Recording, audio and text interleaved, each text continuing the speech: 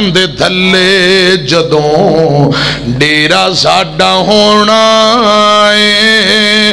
کنے یاد کرنا تے، کنے سانو رونا ہے۔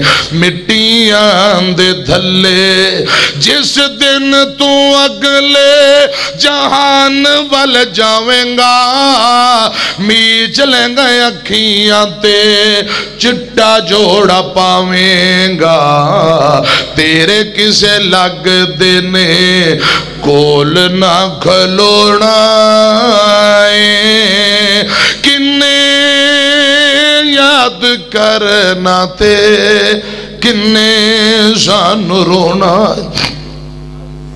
کئی میرے یار پرا سجن بیٹھے انہاں نو رب دا واسطہ دے کے پوچھو جنہ یاراں بغیر روٹی نہیں سا کھاندے جلسے کٹھے سنن جانا نمازاں جمعے پڑھنے میٹ اٹینڈ او تر گئے ساڑھے کل ٹیم ہی نہیں، اسی اپنے یار دی قبر تے جا کے دعا کر دی۔ فرصت ہی نہیں۔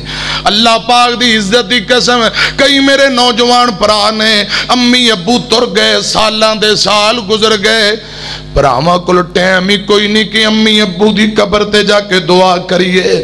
حضرات وقت آنا ہے اونا دے نشان مٹ دے جا رہے۔ ایک وقت آنا ہے، اسماعیل عتیق نے تر جانا ہے۔ تے میری قبر دے نشان بھی مٹ جانگے رہنا تساں بھی نہیں۔ آستا آستا تو ہٹیاں قبران دے نشان بھی مٹ جانگے۔ قبران کی کہندیاں پیغام ذرا نوٹ کرے آجے۔ اساں بھی نہیں رہنا صدا۔ قبرائیں کہندیاں۔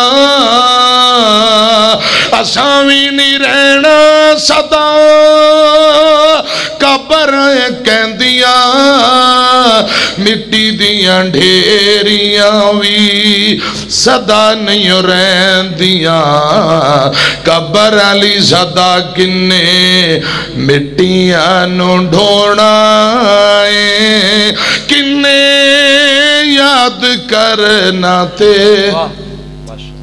کنے جان رونا ہے ومن توفیتہو مننا فتوفہو علی الایمان۔